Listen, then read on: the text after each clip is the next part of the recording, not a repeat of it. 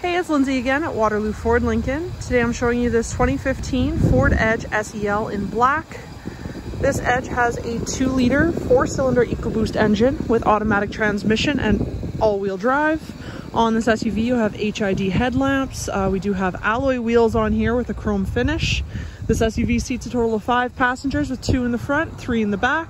Around the back end we do have a reverse camera as well as rear sensors. Uh, we also have rear defrost and a rear wiper blade. Obviously not gonna be able to cover everything about this SUV in this short video. So if you have any further questions, please get in touch at waterlooford.com or come stop by our dealership at 11420 107th Ave Northwest in Edmonton, Alberta.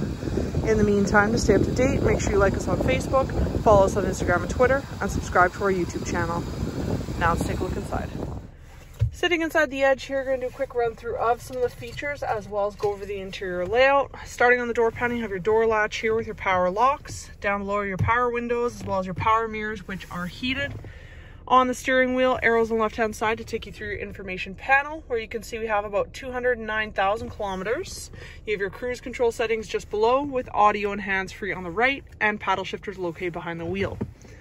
Off to the right, you have your display screen, which has the My Ford Touch system. Top left-hand corner is your phone connection. Bottom left is your entertainment, which does give you AM, FM radio, as well as satellite radio. Also have a CD player with USB and Bluetooth connectivity. Top right-hand corner is your navigation. And in the bottom left, we do have our dual zone climate control, complete with heated seats for the driver and the passenger. Just underneath, we have our push start ignition here, which does come with remote start. We have our hazard lights in the middle, audio controls, and our climate controls once again. Underneath are two USB plugins and auxiliary input inside of this console.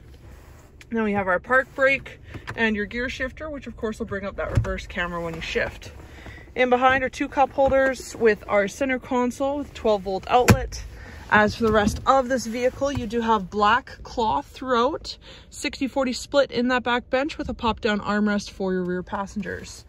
Once again, if you have any further questions about this Edge, please get in touch at waterlooford.com. My name is Lindsay, and thank you for watching.